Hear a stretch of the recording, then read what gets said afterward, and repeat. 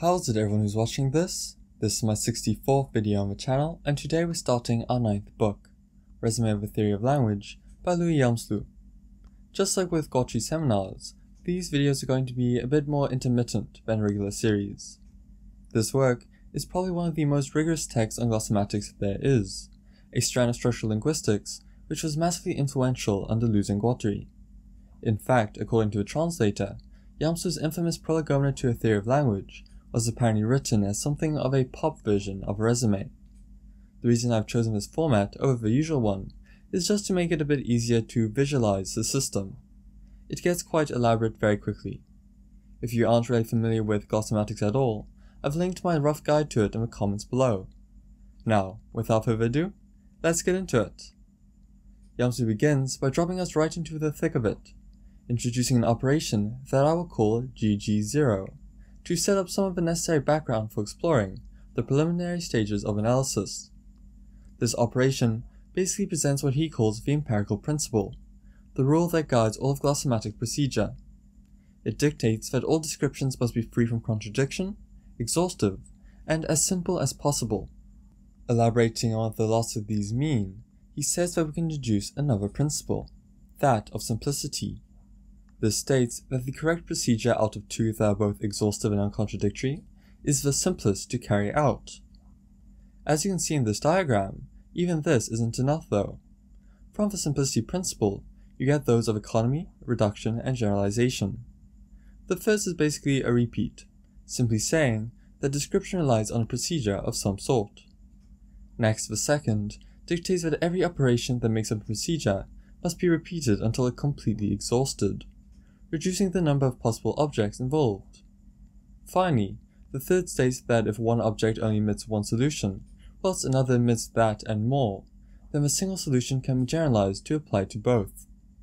Now, with these in mind, we get to our first actual definitions.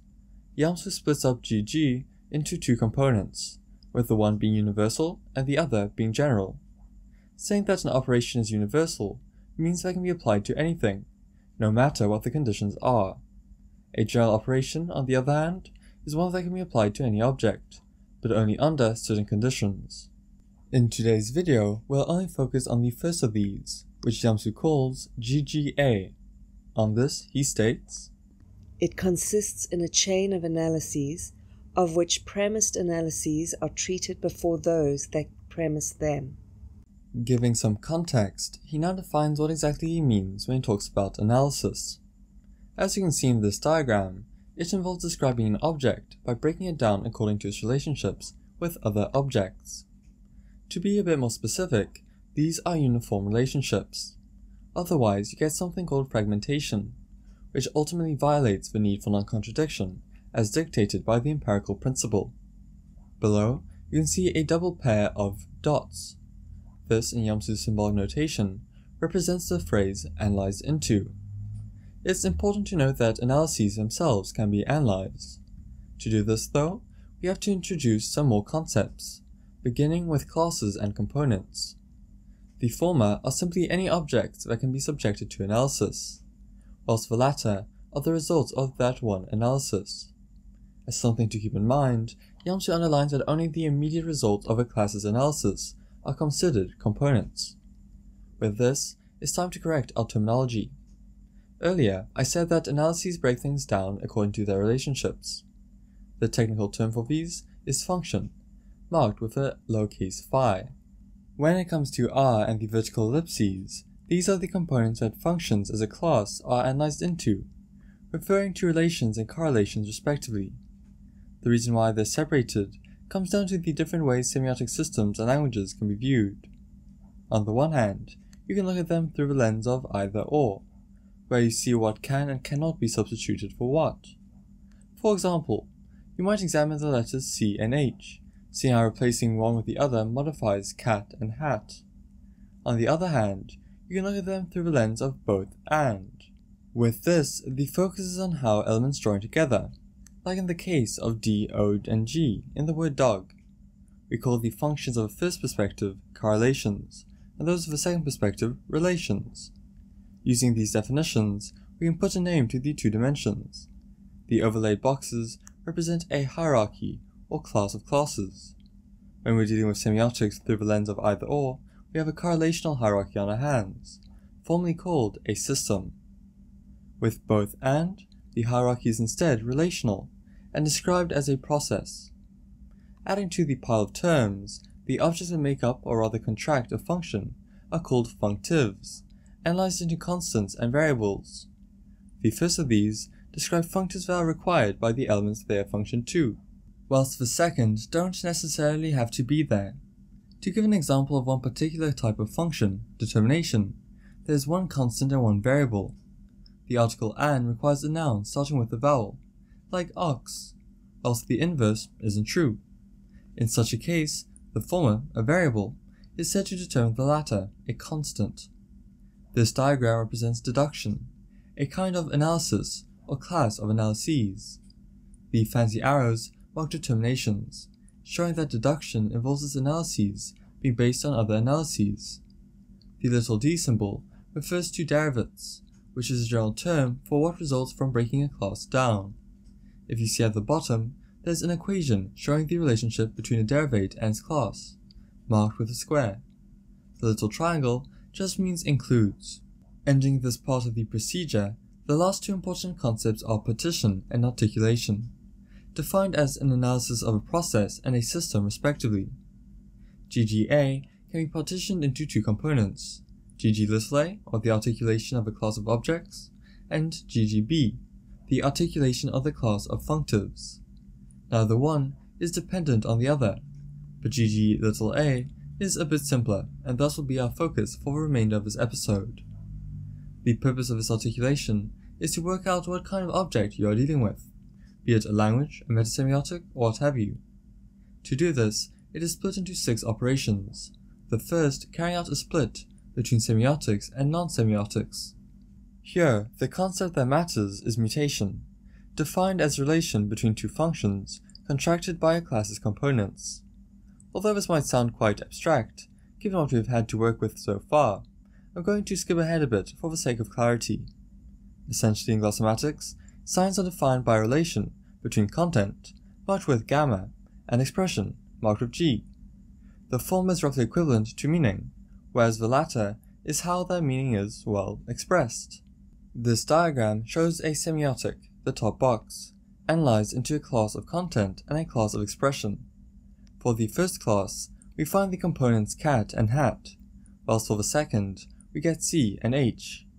We can say that they contract mutation because, from a correlational standpoint, switching the letters impacts both classes. If mutation was completely absent, there wouldn't be a semiotic.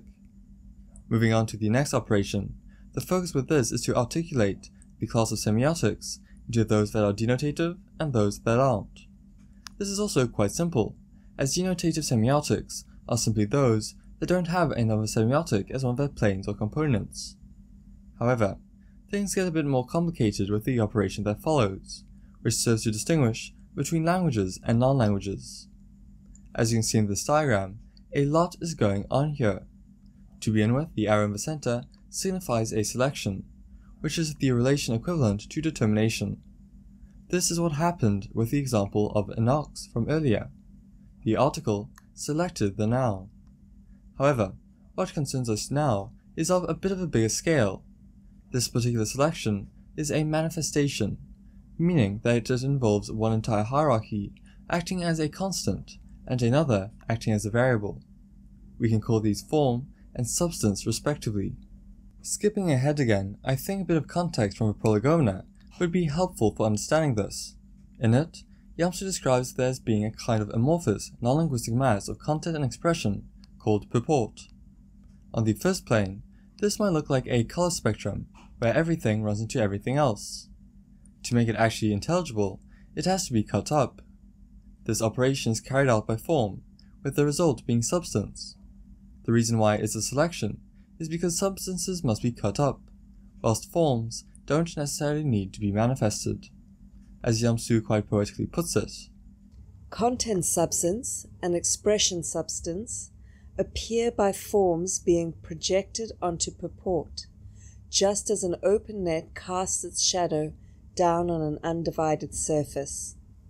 With this in mind, we call a derivative of form a manifestatum, and a derivative substance a manifestant, marked with an uppercase V and lambda, respectively. As you can see in this example, taken from Hjelmslev's essay The Stratification of Language, we can write equations with these. In the first case, the manifestatum is the form P, whilst the manifestant is the sound P. In the second, nasality manifests a variant of N, like you find in French. Ending the operation, he takes a bit of a step back to formally define the processes and systems that make up semiotics. These are called syntagmatics and paradigmatics respectively, with the classes that compose them being chains and paradigms.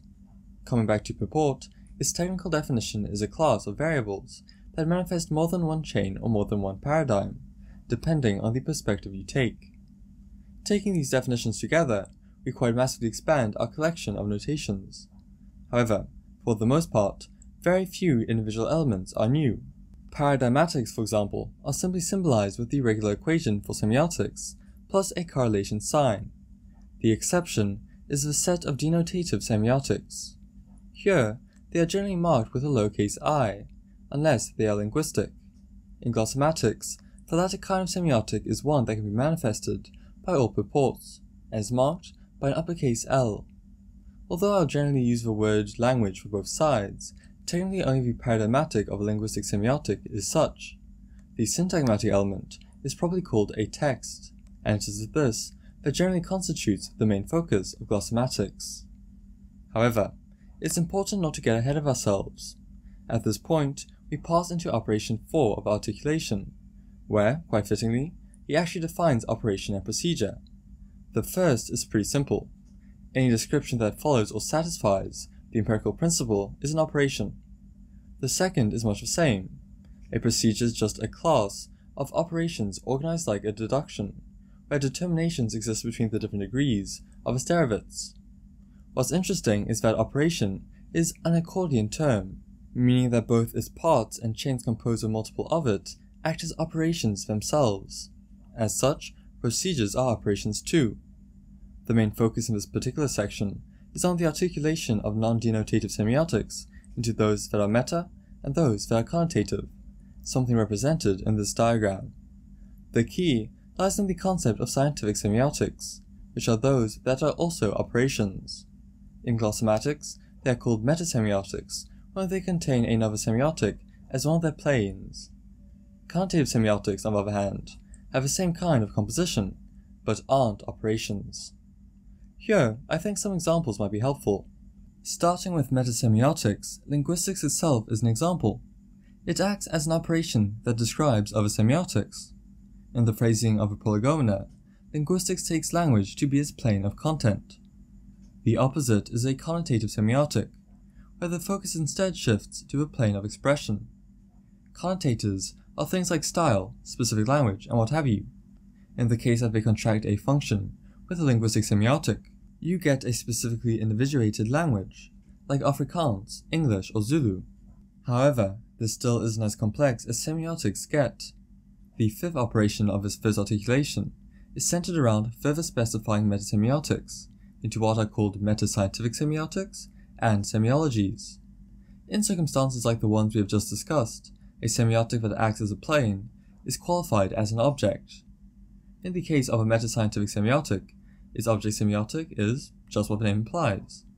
Things only get more complicated when it comes to semiologies. These, as shown in this diagram, are separated into two varieties, the internal and the external. The former has a denotative object semiotic, whilst the latter takes on a connotative one. Keeping with the example of linguistics, we find internal semiology in fields like phonology and lexicology. Here, the expression and content of a specific linguistic semiotic is studied in and for itself.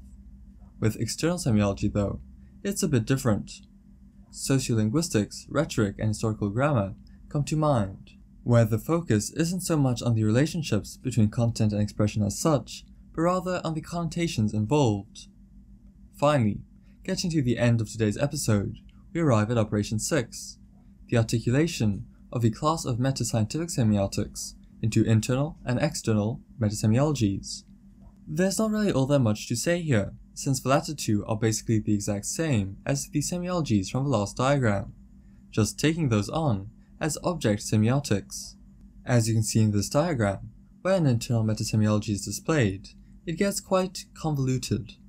If phonology falls under internal semiology, then its meta counterpart is phonetics. The focus is basically on what makes everything tick, with physics of sound being an example of an external metasemiology. It's with this that I would like to conclude, having now gone through the first articulation of GGA and explored some of the many objects found in glossematics. I truly hope you enjoyed or learned something, and if you feel I got anything wrong, wasn't as clear as I could have been, please do feel free to let me know in the comments so I can do better. Next time, we'll most likely have a Freud Friday video. Until then, bye!